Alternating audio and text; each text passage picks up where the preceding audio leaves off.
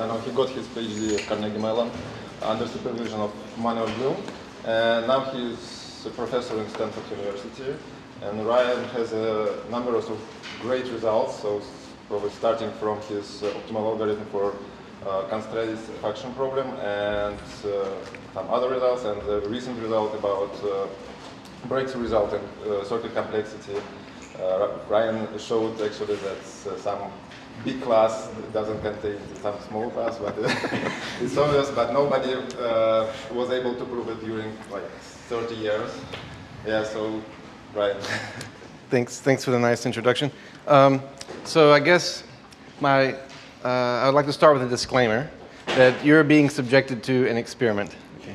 So this, this lecture is not the usual kind of lecture where I will go through lots of details of proofs and, and uh, teach you uh, the proofs of various statements. So this, this is a lecture that is intended to uh, encourage you to think about a topic that is not very well understood. So it's, we're so ignorant about it that I think uh, talented students have about as much advantage as experts. Um, so I would like to just promote a certain topic, which is not well understood and still not being studied by many people, um, in the hopes that you will see it's, how interesting it is and maybe take it up for yourself. And it's exactly this sort of topic that uh, led me to recent results in circuit complexity. And I think that it's the beginning of a bunch of new results, and we're just getting started. So, so this will just be a high-level survey. So my plan is in the first lecture, the first 50 minutes to give a high-level survey of things, and then the next 50 minutes to give you some more details. But it may simply be that the, the survey is so interesting it will take the whole time. Um, we'll, we'll see. Okay. So let's start at the, at the very beginning. So, um, so let's just recall the traditional view of algorithms and complexity theory. So this is the view from 50,000 feet. So we have two camps of people. We have algorithm designers, and we have another camp of people called complexity theorists. And the algorithm designers, they generally ask questions like, uh, what makes some problems easy to solve? When can I find an efficient algorithm for some problem? I want to make some positive progress in the world. I want to find some new methods for solving problems. That's the algorithm designer um, in a nutshell. And the complexity theorists asked another question. So they, they want to know about the intrinsic difficulty of problems. So they want to know what makes other problems difficult. Uh, when can we prove that a problem is not easy? So what, what structure and problems make them easy versus hard? And uh, more technically, they asked, it's basically the same question but with different words when can we prove a lower bound on the resources needed to solve a problem? So when we have an algorithm and it runs efficiently in some time, we say we have some upper bound on the running time. And so a complexity theorist is looking for proving lower bounds, proving that any algorithm solving a particular problem is going to take, necessarily take um, some unreasonable amount of time. So, so they want to prove a lower bound. Okay? So, so these are the traditional views, and it seems obvious that the tasks of the algorithm designer and the complexity theorist are completely opposite ones. Right? One is trying to find an algorithm and one is trying to prove that there is none. Okay, so it's basically by definition in a certain sense. Um, furthermore, it's generally believed that lower bounds are somehow much harder than algorithm design. Okay, and there are many different sort of reasons for this. Um, so one is that in algorithm design, somehow we only have to find a single algorithm that's going to solve the problem on all possible instances of the problem. But in lower bounds, it appears we need to do something much stronger than that. We have to reason about all possible algorithms, even ones that are so clever we weren't smart enough to come up with them. And some, no matter how clever they are, we have to say that, that they're not going to work well, no matter what. And so this just seems inherently harder uh, to us. It just seems like the kind of problem that we're just not good at. We're good at solving problems, but showing that you cannot solve a problem, this, this just seems much harder. And this belief is strongly reflected in the literature. So if you look at the number of great algorithms papers published each year, it's an order of magnitude or, or more than the number of lower bound papers. So there really is this huge discrepancy in, in communities, even, in the sizes of people who try to design algorithms people who try to prove lower bounds. Okay? So, so these are the traditional views. And when you think about the intersection of of algorithms and complexity, you naturally uh, come across sort of foundational questions. And sort of the most popular one is, of course, uh, the P equals NP question, which, just to recall, says if finding, uh, if verifying a solution to a problem is easy, then is finding a solution to this problem also easy?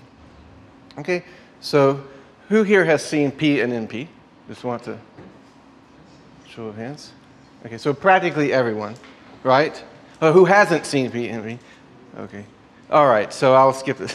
no, so basically, um, so we have these notions of polynomial time, and we have these notions of, of NP.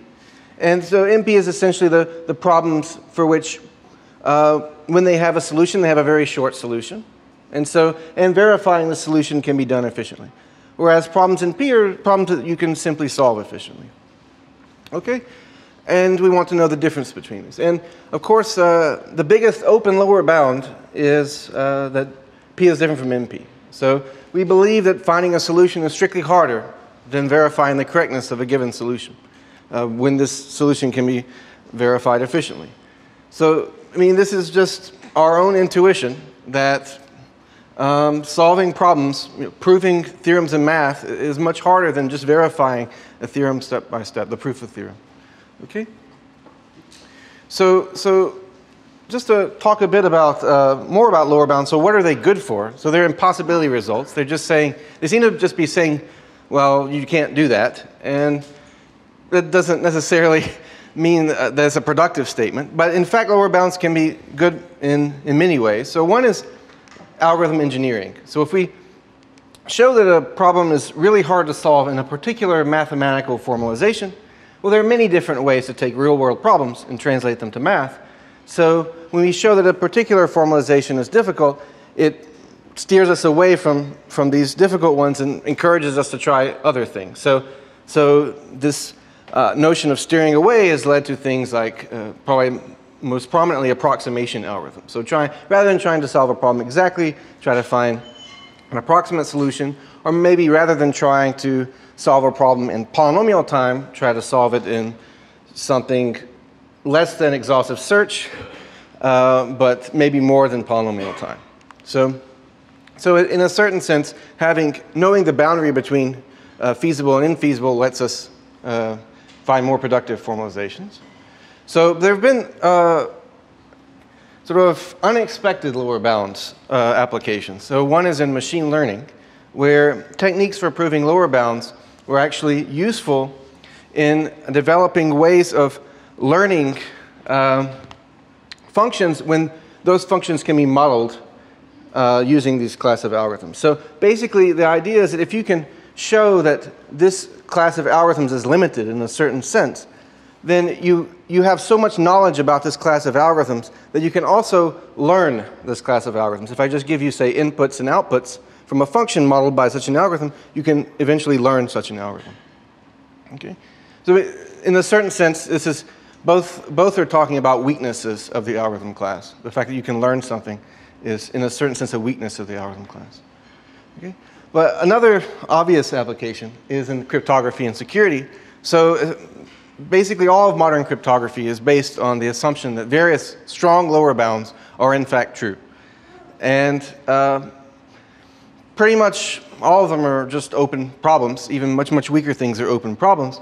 But nevertheless, this lower bounds are basically necessary for implementing cryptographic primitives. There have to be problems which are easy to solve in one way but difficult to, say, invert.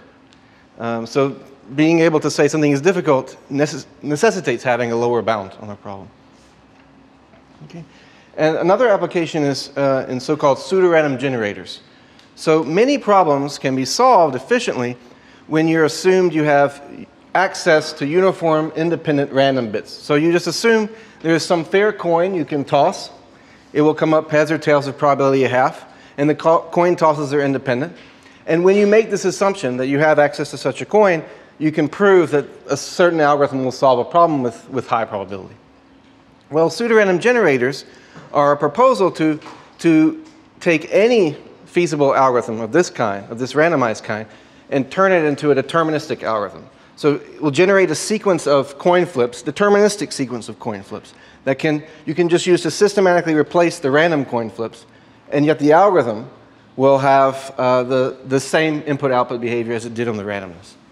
So it turns out that lower bounds, in fact, lower bounds around the kind of, of this NX thing, or this thing that uh, was mentioned earlier, the, even weak lower bounds can be used to, to develop pseudorandom generators. So, so basically, it's, because of this, it's believed that randomness is actually not so helpful in computation, and that any randomized algorithm can be replaced with essentially equivalent uh, deterministical. Okay?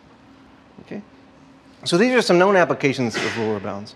But uh, sort of the big thing is that we don't know everything that lower bounds could be good for because we really have no idea what the proofs of strong lower bounds look like. We have no idea how to get started proving things like p different from np.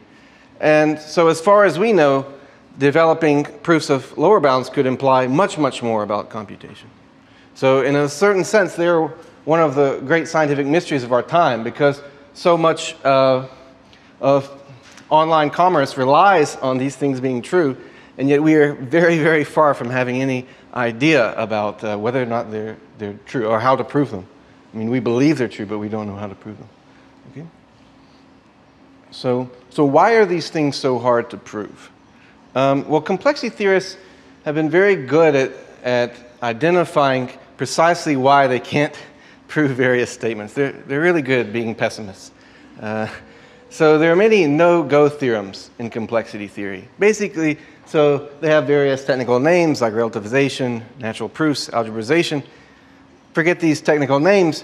These things say in a nutshell that the common proof techniques that we use to reason about things in complexity and algorithms are simply not good enough to prove even weak lower bounds, things much weaker than p different from np. Okay? And so not only can we not prove this stuff, but we can prove that we cannot prove this stuff. Okay? And this has led to a, a lot of uh, weeping and wailing and gnashing of teeth. Um, there's a lot of great pessimism in complexity theory. Okay? So, so this talk is uh, about an, a, a, new topic that um, is intended directly to remove this pessimism by finding connections between algorithms and lower bounds.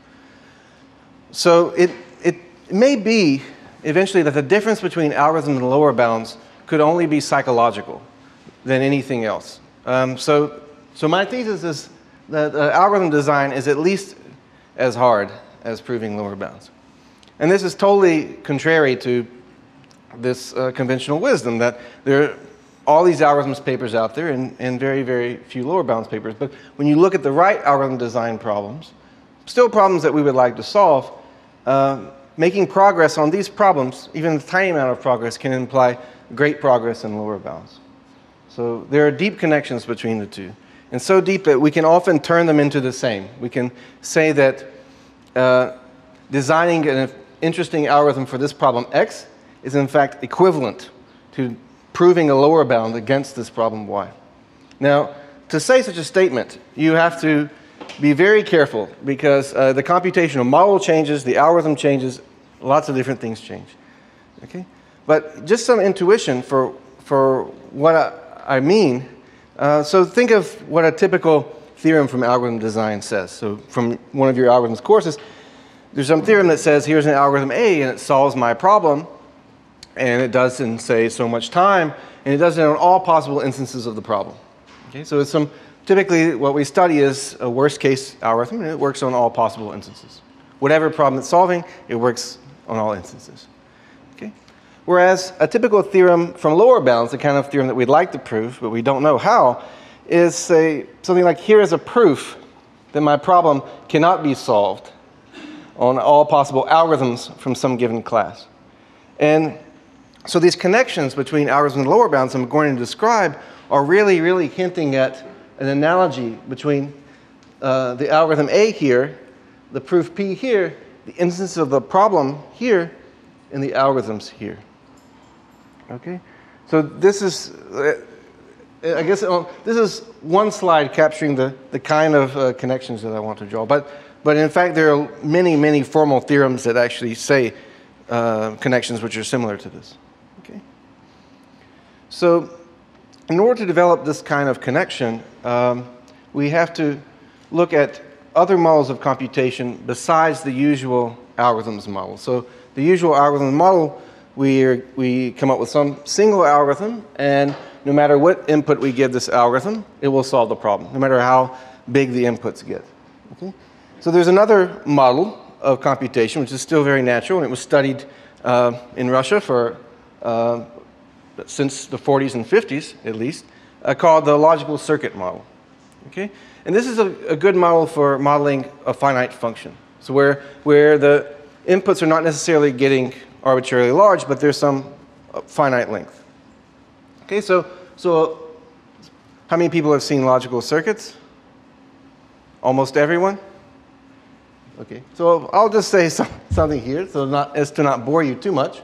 So a logical circuit, it takes zero, one inputs like A, B, and C. It outputs a single bit. And along the way, it's just taking some previously computed bits and computing a new function. So here, this gate is taking the AND of A and B and sending this to the, some big OR. It's taking the AND of B and C, AND of A and C, and it's outputting the OR of, of these things, okay? So in this example, uh, this circuit outputs 1 if and only if at least two of the input bits are 1. Okay? And you can think of these things being connected up in almost any arbitrary way. You have some input somewhere, there's some logical flow, bits being sent from here to here to here, and then there's some output bit. Okay? So the size or the complexity of this circuit is 4, so there are four different operations here. The fan-in of the AND, so the number of inputs to the AND gates is 2, and the fan-in of the OR is 3. This is just to give you some terminology for this. And so this is a very natural model, in fact, probably the most natural model for computing a finite function where there's some fixed input length and you want to uh, just find the most efficient way of computing this function, but where the inputs are a fixed length. And so typically we measure efficiency by just say taking a minimum size circuit over some choice of gates. Here we just have ands and ors, but you could have other choices of, of logical gates. So here's a, a more complicated example, which uh, some of you may, may find familiar. So, so this, this circuit outputs 1 if and only if the sum of its four inputs is uh, congruent to 2 modulo 3. Okay? And so let me explain what these different things are. So, so this is the XOR gate. So it's taking the sum of the bits and outputting uh, their parity, whether even or odd. This is the same as saying whether or not they're equal. Output 1 if they're not equal. And so this is an equality gate, so it's outputting 1 if and only if the two bits are equal. So if they're both 1, it outputs 1. If they're both 0, it outputs 1. Otherwise, outputs 0. And these are AND gates, and these are some NOTs. And generally speaking, we don't count the NOT gates. Uh, we, just, we just count these gates that have two inputs coming in. Okay? So um, some people in this room showed that, in fact, for this function, this is the smallest circuit over all Boolean functions of fan-in 2. So if you take all the functions that take uh, two bits of input and output a single bit, and you try to take the smallest number of such objects to compute this function on four bits, this is what you get, this six-gate function. Again, we don't dis we discount the NOTs. Okay, and they, they found it using uh, satisfiability solvers. So they actually had a computer find this little program here. Okay, so so circuit complexity uh, can get sort of very tricky very quickly. Like it's not at all obvious why this thing is, is computing what I, what I say it's computing. Okay. Okay.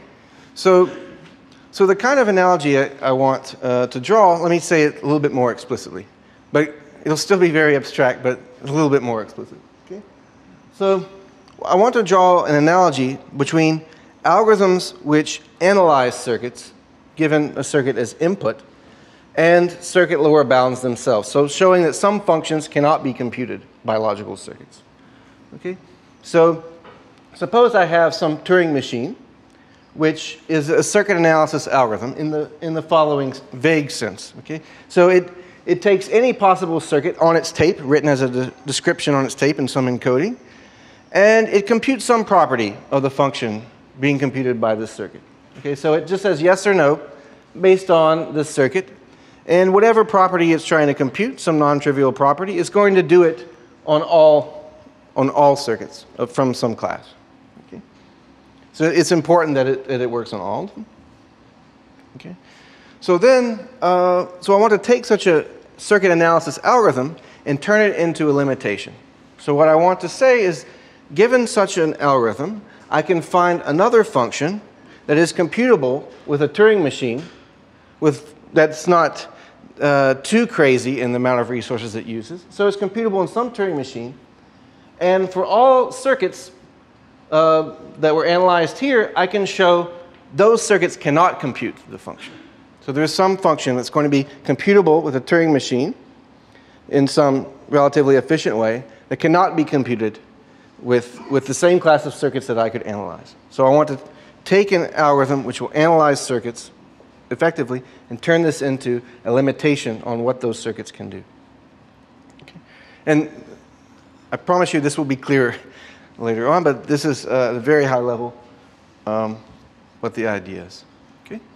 So, so I'm going to talk, uh, the rest of the talk about circuit analysis algorithms, so various uh, ways in which we typically analyze circuits. There's like a, a huge area of this. And then I'll talk about circuit complexity, which was until recently considered a totally different area, just trying to prove that, that uh, various circuit classes cannot compute interesting functions. And then I'll, I'll talk about connections between these two topics. Okay. So, so circuit analysis problems. So they, they can be computational problems on circuits. That's one kind of them. So in this, in this way, um, our input is again some logical circuit, so it's just given to the algorithm as a form of a description.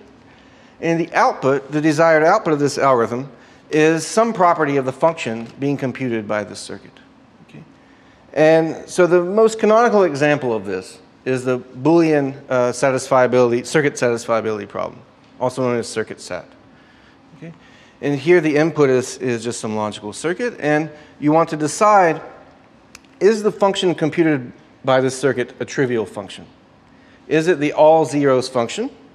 Or is there a satisfying assignment? Is there some input to the circuit which makes the circuit print 1? Okay? So a fundamental theorem of computer science, also known as the Cook-Levin theorem, is that circuit SAT is NP complete. Okay? And this means that circuit SAT is very unlikely to be solvable efficiently unless P equals NP. Okay? How, how many people have seen circuit SAT before? Everybody? Okay, all right. Maybe I should just stop asking and keep lecturing. Okay.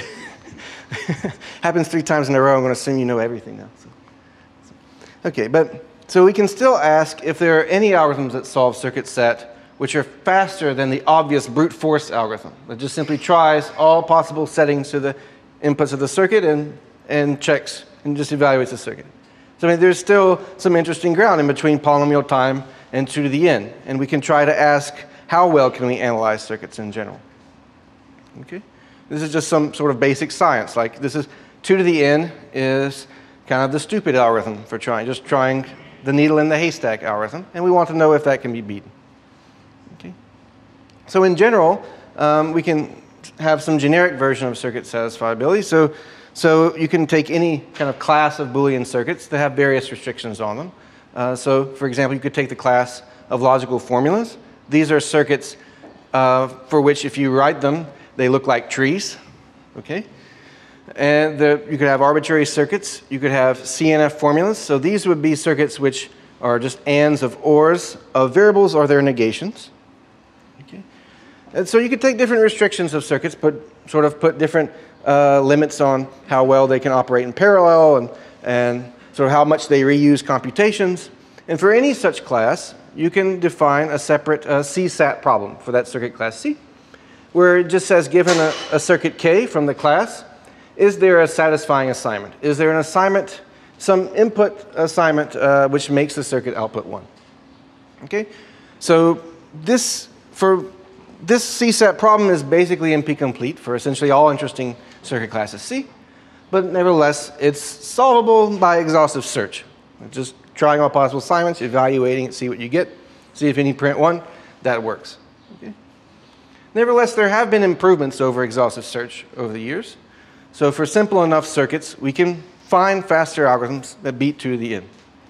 So for, for 3-SAT, for example, so in the three sat problem. It's a 3 CNF. You can think of this in, in terms of circuits as having a, uh, an AND of unbounded fan-in, so as many uh, wires going into the AND as you want, and ORs, but each OR has fan-in at most three. So at most three inputs coming in, and the inputs can be input variables or their negations. Okay? So in that case, we can, we can actually get something much faster than 2 the. Much, well, I mean, it's actually quite fast. It's 1.3 to the n. Okay. And for 4 sat, we can also get an improvement, but, but um, it's slightly closer to 2 to the n. And for KSAT in general, um, we can get algorithms of the form 2 to the n minus n over a constant c times k. But right as k gets larger and larger, uh, this exponent gets closer and closer to just 2 to the n. Okay. And these results are due to many different authors, and the best known results so far, this, these results here are due to Hertli from 2011. But nevertheless, all known algorithms for KSAT have the property that as k goes to infinity, the base of the exponent in the running time converges to 2. So as you see, as, as k goes to infinity here, if you think about what is the base of the exponent, well, what would this look like? It's converging uh, to 2. So for k equals 1,000, this is going to be like 1.99 something. Okay? And um, it's a big open problem whether or not you can do better than this.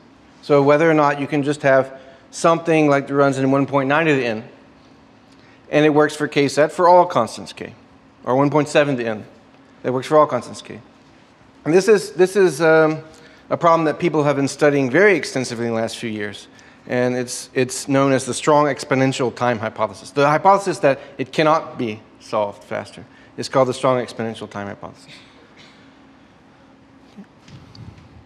So for these very simple uh, circuits, we can get faster algorithms, and we can relax the circuits a little bit, uh, but the running times get weaker and weaker as we relax them and allow for more expressive circuits. So the next expressive class is AC0, um, and that's, that's where we have constant depth and or and not gates. So, so in CNF, we have basically depth 2. We have an and of ors of inputs and negations.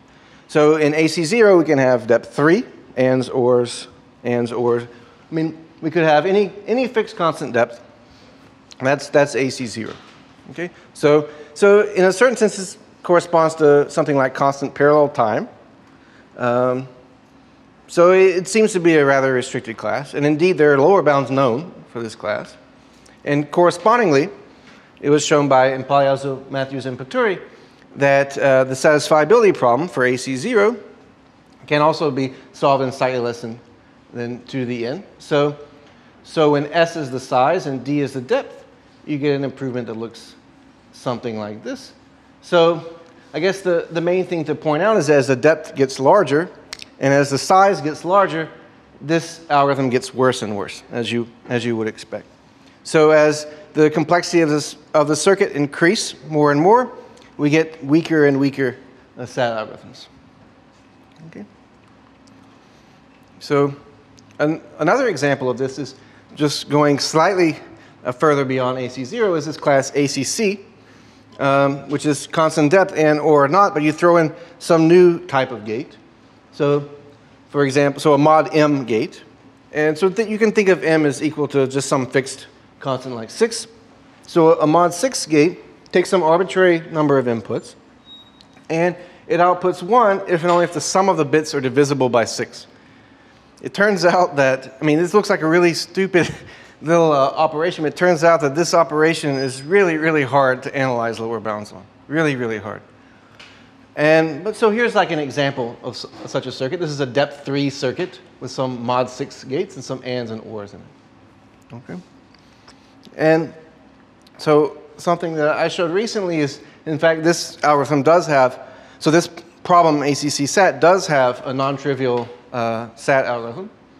So you can solve it in 2 to the n minus n to the epsilon time for some epsilon less than 1 that depends on whatever modulus you have and, and whatever constant depth you have. And it works for, say, uh, up to quasi-polynomial size circuits. So it certainly works for all polynomial size circuits. All right. So, so that's one uh, uh, relaxation. Going even further, uh, we can talk about De Morgan formula SAT. So these are formulas. So again, circuits which look like trees uh, when, you, when you write them out. And these have AND, OR, and NOT gates. And each gate, let's say, has fan in at most two. Okay? So the ORs and ANDs have, have at most two inputs each.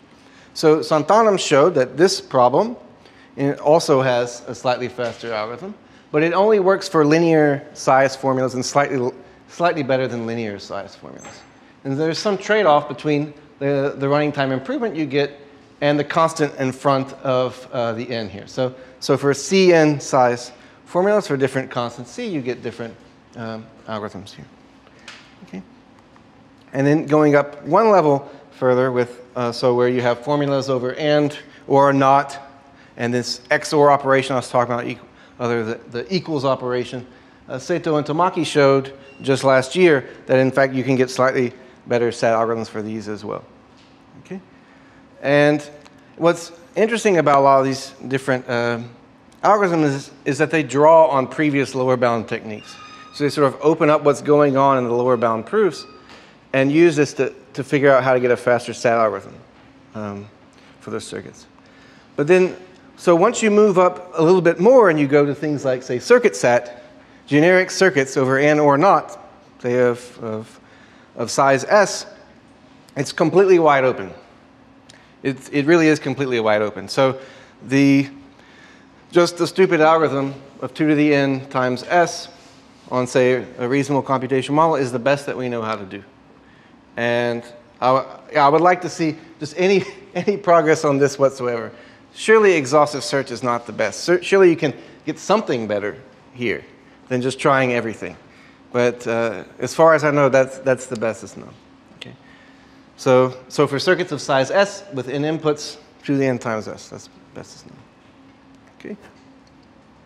So, so that's um, a summary of what's known about circuit SAT and various uh, restrictions. So there are other kinds of circuit analysis problems which can also be interesting. So, so another type focuses on analyzing functions directly. So you're given the function in a sense as input, and you want to say something about the circuits um, that can compute this function. So, so here the input is going to be the truth table of an n-bit Boolean function f. So it's just going to list uh, all possible outputs of the Boolean function according to some ordering on the inputs. So to the n possible inputs, just lists what all the possible outputs are. Okay? And the output that you want here, the kind of thing you want to learn is some property of, say, the minimum size circuits, which are computing this function. So I give you the entire function's value on all inputs, and I want to know something about this function's circuit complexity. How, how many gates do I need to represent this circuit is with the minimum number of gates? Okay. So a canonical example of this is, is the circuit minimization problem, which was actually introduced by uh, Yablonsky in 1959 in, in Russia.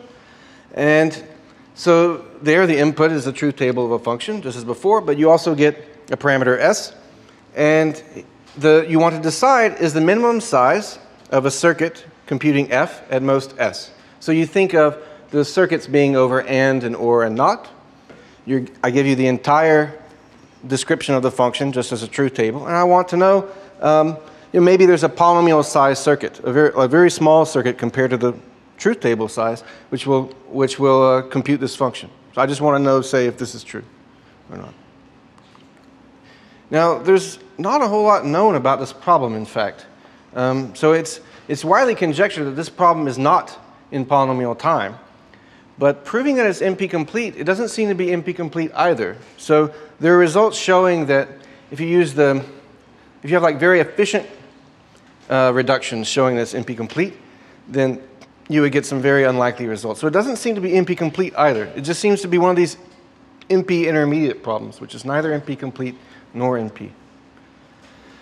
Because, so if it were in polynomial time, in fact, such an algorithm uh, would contradict all conventional wisdom in cryptography. In fact, you could use it to just break pseudo, any pseudorandom generator candidate.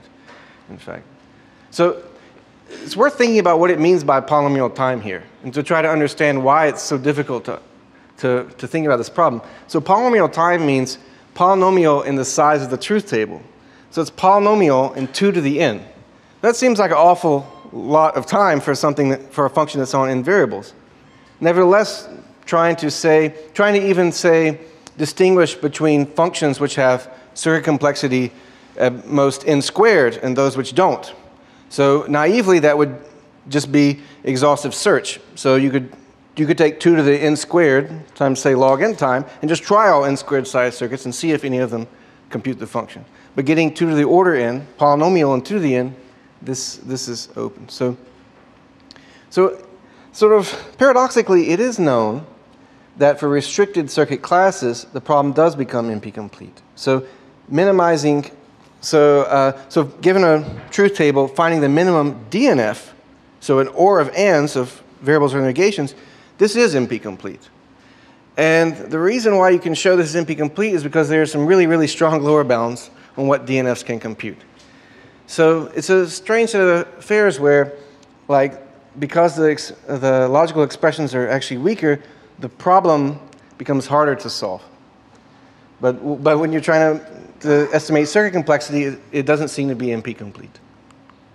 And so one very interesting open problem is to just try to find any improvement over exhaustive search. So this is again a problem you could solve by exhaustive search. You could just, uh, given this parameter s, try all possible circuits of size s, just try them all, look at the truth tables that they print and see if any of these truth tables equal your input. You could do that. Um, but yeah, just try to improve over exhaustive search at all. Here, try to keep in, from enumerating all uh, circuits. So, so Ryan, Yeah. could you repeat what, what would be the consequences if, I mean, circuit minimization is NP-complete? if it were NP complete. So, so, uh, um, so what's known is that if it were NP complete according to like say AC0 reductions, um, then I think you would get some very unexpected things like like uh, nx, nx equals x or something like this. So you, you would get some really unexpected things. But it doesn't rule out showing NP completeness with respect to polynomial time reductions. So, so it is, maybe it is NP complete, but the, I guess the point is that the, reduc- the problems which we know how to prove NP complete, essentially all of them are also NP complete when you have really we- weak reductions, like these little localized gadgets. So any localized gadget reduction is, is almost certainly not going to, to show it's NP complete. That, that's, that's what we know. Does that, does that help? Yeah, yeah. Yeah. Okay. Okay. Any, any more questions? All right. Okay. So, so this topic of designing algorithms for analyzing circuits, it just constitutes so one very small facet of this area of exact algorithms for NP-hard problems, where you say, uh, well, I want to solve this problem, I want to solve it exactly, but I just want, so I don't expect to solve it in polynomial time, I'll just try to solve it as fast as I possibly can. And so running times between polynomial time and 2 to the n are, are the, the game here. So this is a really active research area. So most of these references are quite recent. There are many cool open problems besides the ones I mentioned. There are just many problems for which just improving on exhaustive search, the stupidest possible algorithm, is, is open. Um, okay. So, uh, so that's circuit analysis algorithms in a nutshell. So now I'll move to circuit complexity, uh, lower bounds. So, so as I was saying earlier, circuits are a really good model for finite functions. Okay.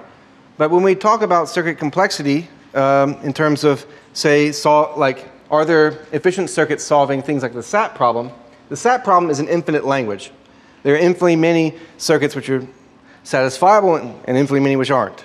And so we have to think about how we can define what does it mean to have a circuit, circuit complexity of an infinite language. And when we think about how to do it, it naturally leads to the, the following sort of situation. So the idea is that we allow a separate logical circuit, A sub n, that gets run on inputs of length n. So for every n, we have a separate logical circuit A sub n. Okay, so we have some infinite family of circuits, one for each input length. So when I get an input of length 1,000, I would send it to something like a sub 1,000. The circuit for a sub 1,000, it would output a bit.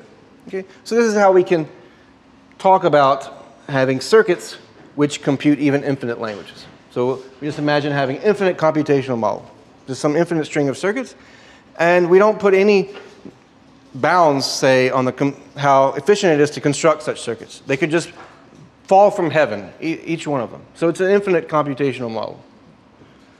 Okay? So efficiency in this model um, is denoted by the class p-poly, which is the class of problems solvable with one of these infinite families of circuits so that there exists a constant k, so that for all n, the size of the nth circuit is bounded by into the k. So the, the circuits can be growing as n increases, but they don't grow by too much. They only grow polynomially. Okay? So this is giving us some explicit kind of trade-off between the size of the computation and the inputs being fed to the computation. Okay? So this infinite computational model, and because it's infinite, it allows you to do some, some pretty funky things. So it allows you to solve some undecidable problems with it. So if you take, for example, the string of n ones, so, so just consider only those one to the n's such that the nth Turing machine halts on blank tape. Okay? This is an undecidable problem. It's not hard to show this is undecidable. Nevertheless, it is contained in p-poly. Do you see why?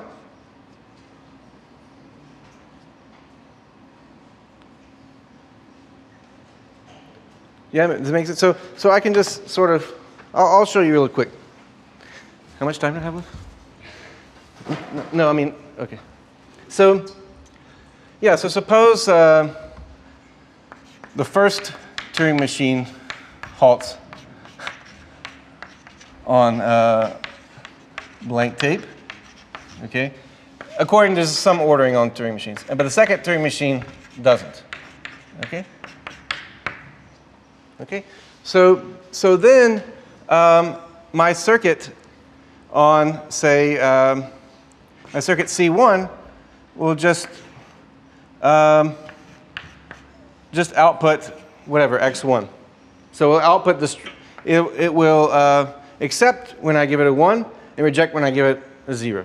Okay? But for C2, um, I want this thing to never accept any string of length 2. So I could, for example, take the and of x1 and not x1, x1 and not, and just leave x2 over here. And this thing will, will output 0 on every input. Okay? And I could just design a separate circuit like this. So either the circuit is just going to output 0 on everything, or let's say the nth circuit halt, let's say uh, the nth Turing machine halts on blank tape, then I'll just take the and of x1 through xn. For that's my nth circuit. Okay? And so on the string of n ones, this will output 1. On everything else, it will output 0. So when I, give, when I have infinitely many different circuits, one for each input length, I can solve, the, solve this problem. Okay? But clearly, I'm encoding the halting problem directly into this thing. But it's, it's an infinite computational model, so it's possible to do that. Okay? So this is when the nth Turing machine halts on blank tape. So that's when it halts, and when it doesn't halt, I just set up some dummy circuit like this, which will output zero on everything. So it'll take x1 and not x1 and, and take the and of them, which is always zero. Okay. So, so when you have this ability, to have a separate uh, circuit for each input length, a separate program, then you can do all kinds of funky things. Okay? And what this means is that the usual techniques that we have in complexity and computability are basically useless for, for trying to prove uh, strong lower bounds on p-poly. So note that these are trivially polynomial sized circuits. They, I mean, they're sort of very easy to construct. Okay? Are there any, any questions about it? Does it make sense? Okay. Okay, so, um, so most Boolean functions require really huge circuits. So we'd like to find functions uh, or understand when functions have high circuit complexity and when they don't. But so if you pick a random Boolean function, in other words, you flip a fair coin with probably a half, you make it output one or make it output zero in each of the two in input strings, you just get some random string. This is going to require high circuit complexity. And the way to see this is just a, a simple counting argument. You count up the number of circuits of size less than 2 to the n over n, and the total number of possible Boolean functions is 2 to the 2 to the n. And the number of such circuits of size 2n over n is smaller than that. So there must be, in fact, uh, it's much smaller than that, so some fraction of that. So a randomly chosen function is going to have really high circuit complexity. Okay? But nevertheless, we can say, okay, but what about the functions we want to compute? Okay, random functions, maybe they come up, maybe they don't, but what about normal problems that we want to solve? So what normal algorithms, those computable by Turing machines, can be simulated in, in p-poly. So in this notion of efficiency, but with infinitely many circuits. Uh, we know that non-uniformity can be very powerful. There are some uh, undecidable problems they can solve. Uh, but, we, but for all we know, they could be super, super powerful. So a huge open problem is whether non-deterministic exponential time is contained in p-poly. Okay? So in English, this says, can all problems that have exponentially long solutions verifiable in exponential time be solvable with polynomial size circuits. When I get to lay out a separate circuit for each input link, can I then magically go from exponentially long solutions to polynomial size computations? This sounds uh, completely absurd. Um, we think exponentials are much, much bigger than polynomials, and there must be computations you can encode uh, with, say, exponentially long solutions. You cannot encode with polynomial size circuits, but it's actually open. Uh, I think the main reason that it's open is that we haven't had uh, a good idea of how to approach such problems. Okay? Uh, and the big impediment is, is this non-constructivity condition on circuit complexity. So given infinite preprocessing time, given infinite time, arbitrary amount of time to construct the circuits, can we then, after this amount of time, solve any exponential time problem with just polynomial size computation? If this were true, it would totally contradict our understanding of, of efficiency. Okay. So, um, so it's generally conjectured in complexity theory that NP is not in p-poly. So in other words, the circuit sat problem, things like that, we believe they cannot be solved in p-poly. Um, uh, this is just because we, we think that if this were true, then it would mean that, okay, somewhere out there, there is some hardware design that maybe someone can find, maybe they can't, because it could take forever to construct. There's some hardware design which is really efficient, uses very few transistors, and can just solve any SAT instance that you want uh, within some reasonable range. So that, that's what such a thing would, if NP were in p-poly, that's what such a thing would say. For any fixed input size, which is generally what we're looking at in practice, so up to some fixed bound, I can come up with some hardware design that will just solve this thing very efficiently. Um, and the only impediment is the fact that constructing this design is, takes a really long time. So it just, it just seems that this is not true, but it, it could be. This, uh, as we've seen, they, they can be quite powerful. So, so the proof of such a theorem, if we could prove that NP is not in p-poly, then it, it would help us get concrete trade-offs between the sizes of inputs and the sizes of computations in general. We could actually start saying things like, oh, well, any computer which is going to solve the SAT problem will take some size bigger than the universe, so I can set up some crypto based on long enough SAT instances and be assured that no one is going to be able to build a computer in this universe that will be able to solve the problem, so I, am secure. So, so you could try to say something like every logical circuit solving all SAT instances on 10 to 8 clauses requires at least 10 to the 60 gates. Okay, These numbers are totally made up, but one would expect that from some proof of a, say, computation size input trade-off, you would be able to extract such parameters. Okay. Okay. So uh, I would like to actually mention a conjecture uh, by the great mathematician Kolmogorov. And so according to Leonid Levin, he has conjectured, he conjectured that P has linear size circuits. So that, in fact, every problem solvable in polynomial time, say into the 10, into the 100, into the 1,000, there's some linear size circuit family. So just order n size circuits, one for each input length, uh, which will solve the problem. Um, so he based his conjecture based on some solution of some Hilbert problem, which I've forgotten about. But anyway, I, I think it's a very uh, compelling conjecture because if it were true, it would be remarkable. So, so if you could prove that this were true, then you would have a proof of P different from NP um, relatively easily. So you can show that if P equals NP, then in fact such circuits do not exist for polynomial time. So, so proving Kolmogorov's conjecture would, would resolve uh, the P versus NP. Okay, so, uh, so I guess I'm, my five minutes are up. So, okay, so I'll stop here.